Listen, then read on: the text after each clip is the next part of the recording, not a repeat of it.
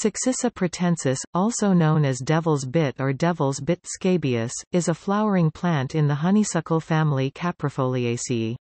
It differs from other similar species in that it has four-lobed flowers, whereas small scabious and field scabious have five lobes and hence it has been placed in a separate genus in the same family.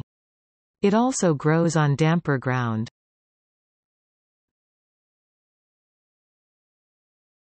Topic. Name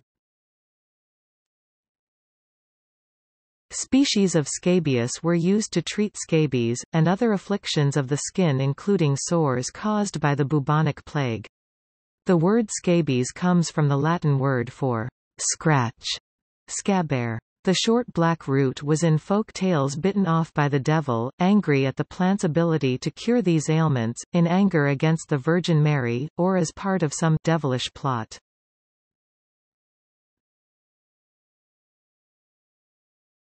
Topic. Description Succisa pratensis is a perennial herb up to 1 meter tall, growing from a basal rosette of simple or distantly toothed, lanceolate leaves. Its unlobed leaves distinguish it from Knautia arvensis field scabious. The plant may be distinguished from Centaurea scabiosa greater knapweed by having its leaves in opposite pairs, not alternate as in knapweed. The bluish to violet occasionally pink flowers are borne in tight compound flower heads or capitula.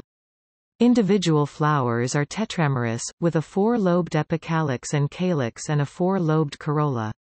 Male and female flowers are produced on different flower heads gynodioecious, the female flower heads being smaller.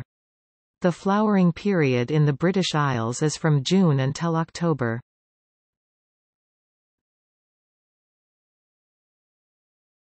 Topic. Distribution Succisa pratensis is common throughout most of the British Isles, Western and Central Europe, extending eastwards into Central Asia. It is absent from Eastern Asia. It has been introduced to eastern North America.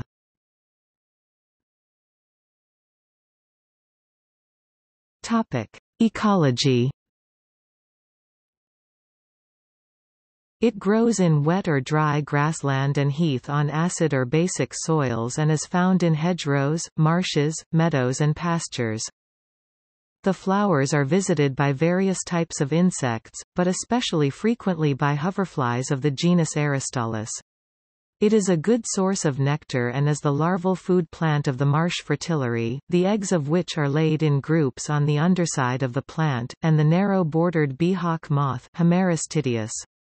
As both invertebrates are rare, their survival relies on careful management of sites containing these plant and butterfly species. It is parasitized by the chytrid fungus Synchytrium succisae.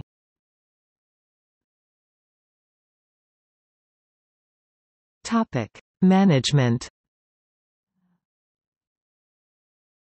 The aim is to produce an uneven patchwork of short and long vegetation by the end of the grazing period, between 8 and 25 cm 3.1 and 9.8 in.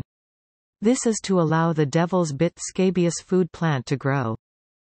This can be achieved through low-intensity grazing also known as extensive grazing using cattle.